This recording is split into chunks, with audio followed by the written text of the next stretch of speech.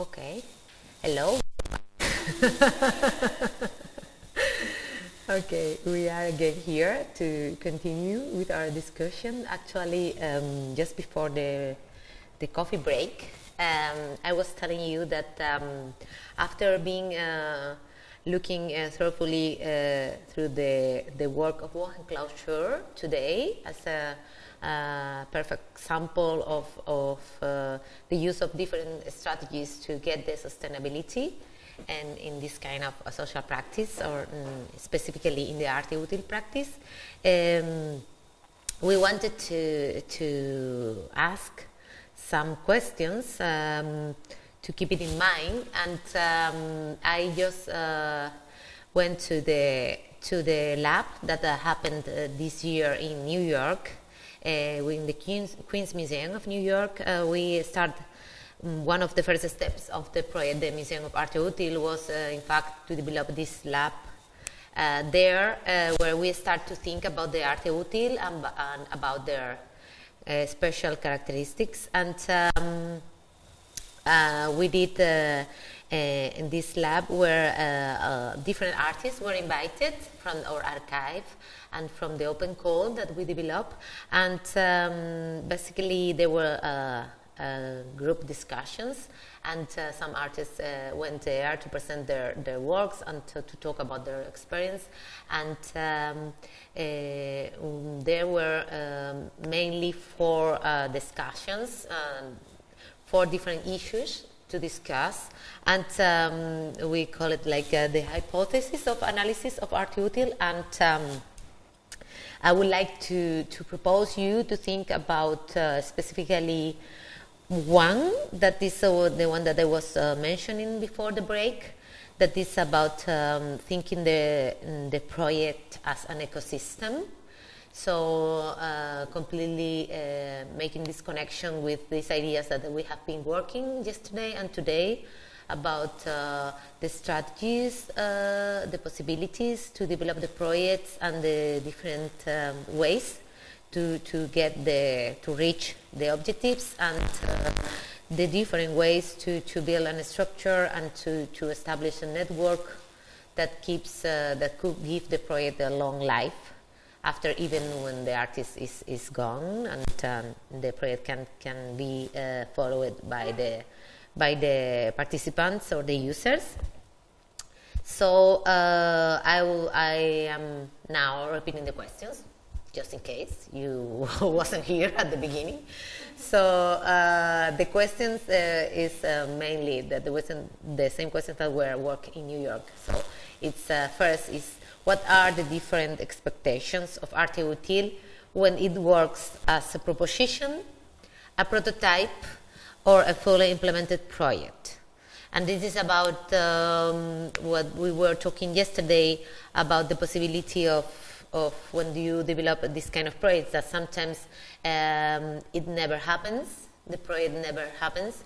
So it's what we call like a proposition because uh, sometimes, especially in the, in the historical examples uh, that we have in our archive of Arte Util, uh, a lot of artists started to think about this kind of practice, but they couldn't uh, uh, manage to develop the project because even the context or even the situation, the political situation or or um, economic situations that uh, that in, that stop their develop.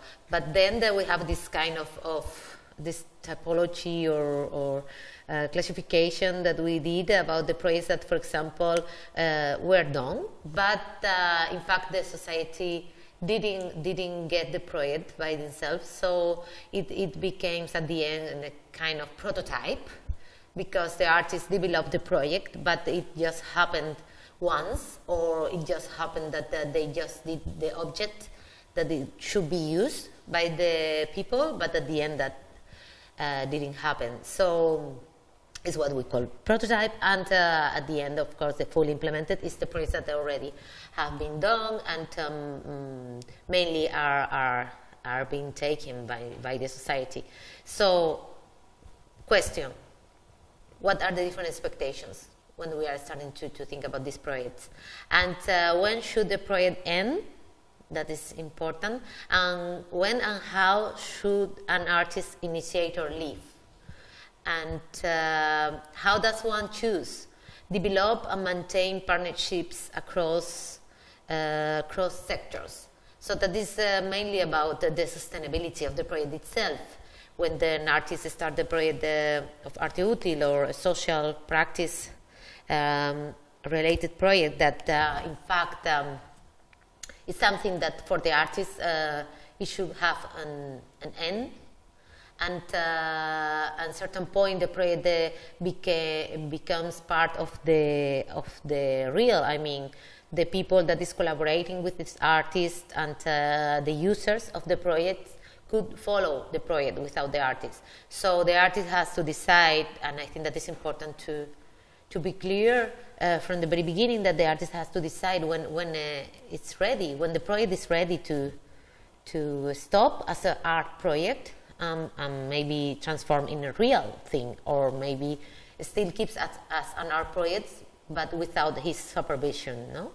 So, and in that way, uh, as we have been seeing a lot this morning in relation with One Closure, mm, one of the, the better uh, ways is to choose a good network of partnerships of people, inter, uh, interdisciplinary uh, group of people that is willing to, to keep the project alive, no?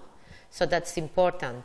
And um, how do artist initiators work with or against institutions? And this is uh, again uh, thinking about the position of arte útil as uh, institutional critique. As, uh, as we were telling yesterday, if uh, it's uh, okay with the maker um, and um, opposition statement against an institution, or maybe it's better to think in a kind of a, of a repurpose of that, in, that institution. So you don't mm, put it yourself in front of the institutions, but you uh, instead decide to use the institution in a different way. Or other mm, question is how are projects found, funded and sustained, sustained, and uh, to what extent is this central to the project's conception and ideology? So, and that is mainly about. Uh, again about the sustainability of the project, but uh, even about um, the core of the ideology and the, the, um, the, let's say, the character of the project itself. Because um, when you are beginning, you have to, to manage to find the funding to, to develop the project. And uh, sometimes, uh, in fact, you have to go to the real and you have to collaborate with companies or with uh, institutions that uh, probably in their own ideology have different statements that you have. So you have to deal with that at the very beginning. So to be really sure that you are um, following um, or you are both in the same page or maybe uh, you can manage to, to repurpose that institution or at least to be aware that is uh, something that you are doing um, on purpose. You, you have to be aware about uh, uh, yeah what is the, the funding and what is the um, possibilities that you have and uh, if you have to, to manage find this kind of funding. And uh, the last question is uh, how is a scale determined and evaluated? So how do you when the project, project is developed how do you do you measure the scale of the project and uh, the impact. And uh, how important is the impact or not? Or is just uh, for you important the process itself or the reaction of the specific participants that uh, have been directly connected with the project from the beginning? Or, or you are more uh, focused on the reaction of the people that is um, getting in contact with the project through the news or through the media or I mean, something that you have to, to, to maybe think about it even before to start the project. How is going to be your own evaluation of the project and the impact that it, uh, it has? And uh, in relation with these questions, we have uh, again we, we want to talk about the project that uh, one of the projects that we mentioned yesterday that is the rolling, Ju- rolling jubilee that happened in the 2012 in new york went uh, uh, started by the group uh, Strike Debt that was part of the occupy, occupy wall street movement. And in fact um, just for the ones that were not uh, here yesterday, uh, told you that uh, what uh, this parade is about the DEP, and it's about um, following the name as uh, jubilee. It means um, in different cultures an event that when when the debts were cancelled. so a kind of, of, of, of of, of um, goodness. I don't know how to define, but the moment when the, all the debts are can, uh, were cancelled. So what they propose is with the, the actual situation and the economical situation is that uh, Strike Debt is a group formed by different professionals and uh, from many different fields, and they decide to to use the, the strategy that is already used by the economical system itself, that is that uh, the banks could, uh, could buy the debt uh, mm, really cheap, in a really cheap rates. So uh, that's something that is already happening a lot in the economical system, but the normal uh, people, let's say, uh, we don't know about that system, so we, we neither can think about it. So they propose, strike debt uh, propose to, to buy mm, this debt. So it's like, um, and the difference is like um, with this um, system you can buy uh, one dollar of debt for pennies. so it's really cheap. And uh, what they did is that uh, they organized this campaign to, to get funding, to, to, to engage everyone who wanted, who was willing to participate to, to donate uh, money to buy uh, public debt. And uh, this debt was not uh, nominal, so you never would know um, for, for whom is. So you are really uh, cancel the debts of people that you you don't know, and they did it, and it's still uh, working, and um, so it's something that you still, if you want, you can collaborate. And um, I want to show you um, specifically about this project. We have um, a video that actually uh, it was part of, of the lab in New York that is um, the presentation that uh, Jim Costanzo, part of this movement, uh, he did in the lab in New York about this project in concrete and thinking about these hypotheses, these questions that I, I, I asked before uh, about the ecosystem management of the projects. So let me.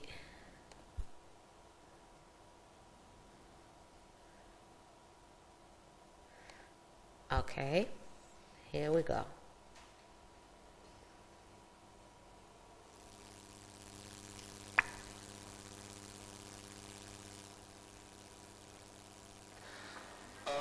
The occupation, whoops, jumped a little quickly.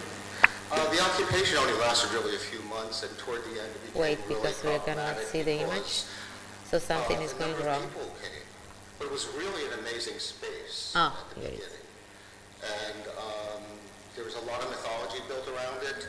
Uh, the fact of the matter is, like in the first week, we tried to put together a one-page statement for the press about why we were there. And we had like four or five working groups out there trying to figure different things out. And we came up with nothing. And uh, so that was kind of, I understood it to be that was the ride we were going to take. And of course, I don't speak for Occupy. I don't really even speak for Strike Debt. Nobody does. Everybody does who's been part of it. Um, and it was like this incredible, different mixture of people. You know, with you know, Jesus is not for corporate greed. Was um, I put it there because it's not really what most people think about Occupy. But we have this huge Occupy faith with many churches, and a lot of that was really important for Occupy standing and creating spaces where we can help give relief to different parts of the city. Um, I was also involved with uh, Occupy Museums, And I just want to bring that up because we were helping the um, art handlers, who- the art handlers who were also part uh, of the, not the AFL-CIO, they were Teamsters Union. So they were being locked out of their jobs, and we went to uh, MoMA, we went to Sotheby's, they have an interlocking board, and MoMA actually sells paintings from their collection through Sotheby's. Um, It's, it is what it is. Uh, We, we brought a lot of attention to the, the fact the union, different union organizers really liked what we were doing. And what happened was, I, I actually teach art, and um, I, I've been very upset about the fact the prices, or the- let's say the uh, amount of debt students have been going through over the last 10 years. It's, it's, it's shocking, actually. And so I became part of the student uh, debt movement. We had our T1 day in March of last year, and you can see one person has, we asked people to put the amount of debt around their neck.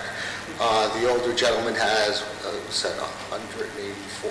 That's amazing amount of debt. I mean, $55,000 for somebody that year in this economy is not going to be paid off. Um, And so we came from that. Uh, Occupy Museums went to the Berlin Biennial while we were gone. There was all these activities happening. We were meeting a lot of different people from uh, different Occupy movements around the world and the, talking about debt and other things. Uh, but when we returned, I got an email from uh, Student Debt. They said, "Look, we found this new group, and we're going to be meeting over the summer to talk about what debt was." And this was really the beginning of strike debt. Uh, you might recognize on the upper left is David Graeber and Andrew Roth, Ross, and uh, we just were meeting in the park, having you know these kind of casual on, on just conversations. We had different people presenting what we're trying to explore what the idea of debt was and what kinds of debt there were. And uh, so we decided to really push the idea of a jubilee, the idea of the, these, the debt that has most people are involved with. It's either manipulated by either government programs or uh, an economic crash that was actually a criminal activity in many people's mind. And we felt that that was like something that we could really resonate, that would really resonate among people. And we actually became an offshoot of Occupy because we took a different stance. We said we want to engage on this. We were not going to just kind of say the system is broken and then there was a lot of people within Occupy who don't want to take political stances because it would limit what you, what you could really accomplish. They felt they wanted to go after the whole system, and if we said, well, let's get rid of, let's take pol- uh, money out of politics, that would be a step in the good direction. But you know, that first week, we couldn't even agree on that. But um, when we started talking about what debt was and all the different kinds of debt, we felt that we were going to take that stand. We were going to call for a jubilee.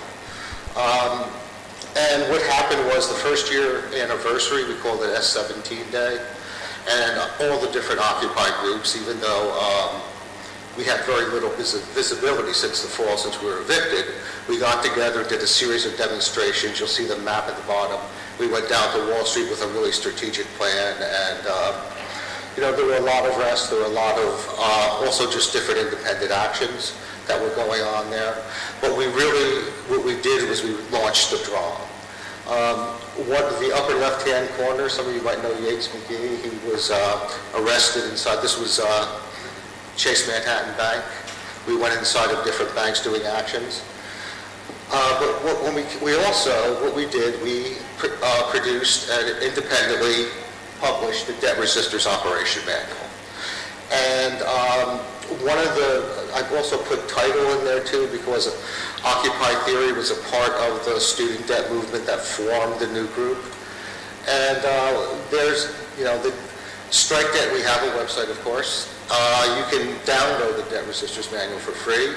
We have been approached by a publisher, uh, a very sympathetic publisher. We're going to do a a regular um, commercial publication that will be in malls and also be an ebook. Uh, But you'll always be able to download both the old and new manuals. So it'll always, always be open for, you know, for people to download. Um, One of the things about um, the strike debt that we decided to do in the relationship to the Jubilee was create what we called the Rolling Jubilee. And the Rolling Jubilee was always a meme, a way of letting people understand how the debt process worked, and also to, to show the, you know, not only how it worked, but how corrupt it was.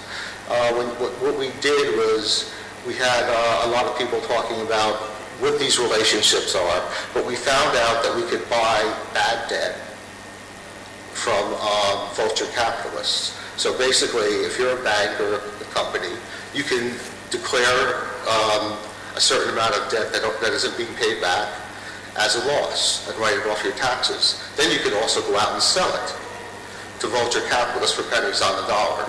And they harass people and really make, it makes life very difficult if you're constantly bombarded by telephone calls. Um, they send letters with misleading information. And it's very stressful if you, if you have ever known anybody that's been in that situation. So we decided we would raise money and just abolish the debt, no strings attached. Uh, we, were, we did a telethon and we were hoping to raise, oops, we were hoping to raise $10,000, which would like get us like $100,000 worth of debt. Well, the telethon gave us over $60,000, $70,000. And now we're up to $500,000, which is, we'll be able to buy $11 million worth of debt. It sounds like a lot of debt, but the amount of debt that we have in this, well, just this country, is over, it's trillions of dollars. So this is absolutely nothing. But again, it is a, it is a tool to bring people's attention to how the system works. Um, we also did um, a report on Sandy, and uh, the report is who, who is shouldering the cost, and we found out that FEMA really gives people loans to rebuild, so they're not really giving them any kind of, that all the money that you read about historically uh, with, with her, uh, Hurricane um, Katrina, most of that money went to Halliburton and other large corporations who took, took the original grant money, then started subcontracting. So they took their 10, 15%, then kept subcontracting to different other organizations. And so we did a report about that. We were talking about how people were affected in different parts of New York City who were affected by Sandy and how the treatment was unequal. And we were surprised to find how close it was to Katrina. We did, you know, uh, uh, in my mind, I didn't think that they could get away with what they did in, in the Gulf Coast here in New York because of the media and everything. But there really, really isn't that much difference in what's going on. The person who is Bloomberg appointed to put in charge of rebuilding is uh, a vice president at uh, Goldman Sachs. So these kind of ideas of where the money goes, what that money is about, when you read about all that amount of money, it's, it's uh, very misleading. Uh, I'm going to jump into here. This is uh, the second edition of the DROM. We, we're covering a lot of different things like credit scores, credit cards. Uh, medical debt is the first debt that we bought. Um, and it's a strategic thing. Most people understand uh, how, med- how medical debt is really unfair. Because even if you have health insurance, that does not mean you will be covered. There are, depending on what your insurance is, right? So you can get up to a certain amount of coverage and then you can say, well, that's it, you're going to be dropped at this point. Uh, and also, if you're not covered, you can't afford insurance. So there's all these different levels. We decided to go with uh, medical debt first, but we will be getting into other kinds of debt, even including uh, credit card. But the DROM is really trying to break down how the systems work. And if you want to call it neoliberalism, if you want to call it capitalism, it is a system that is really based on debt.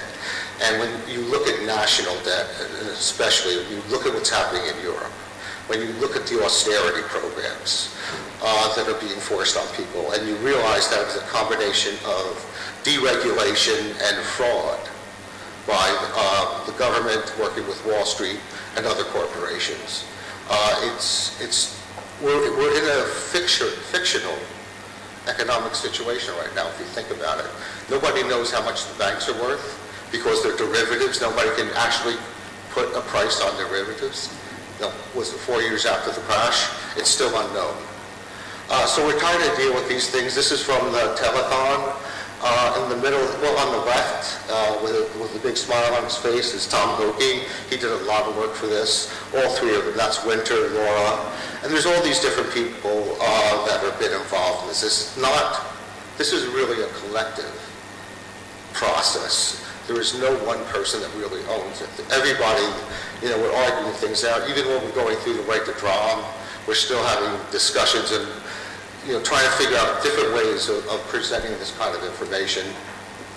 Um, I was also, I'm also involved with uh, Making Worlds, a forum on the Commons. I don't want to talk about it too much, but we're also having a dialogue between Strike Debt and Making Worlds, talking about what other kind of system, what would post-capitalism look like?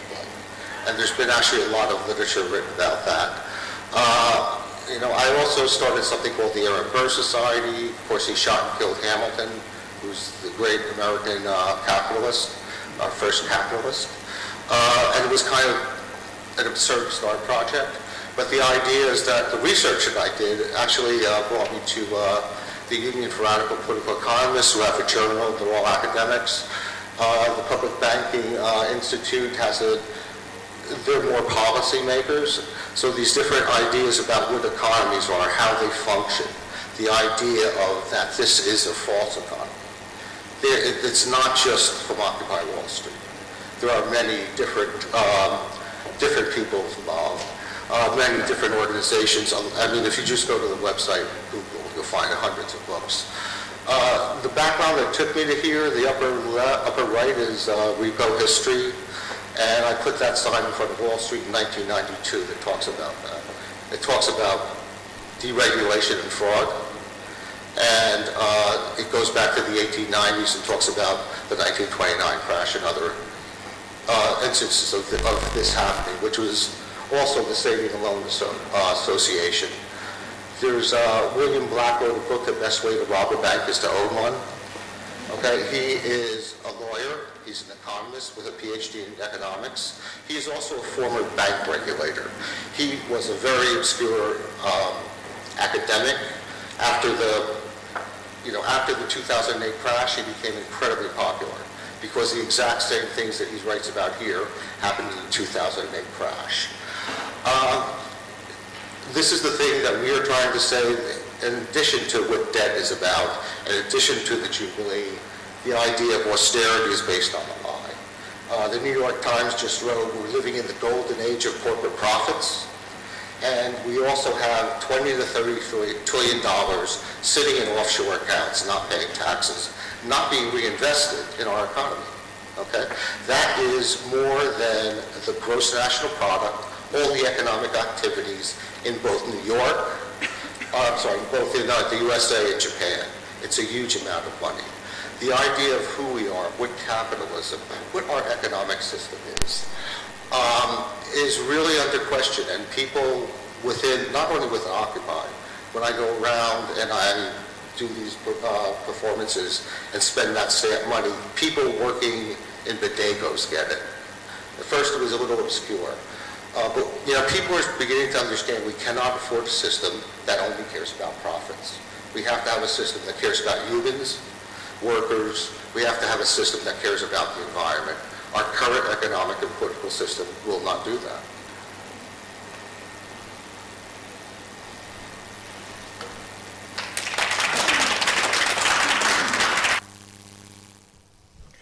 Well,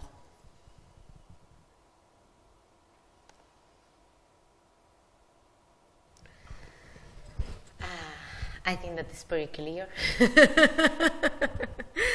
uh, that Jim Costanzo explained that uh, I have to say to tell you that uh, if you want to see um, all the the conversations that were developed in the lab, you can go directly to the website that uh, we took the, this video this video from the website arteutil.net.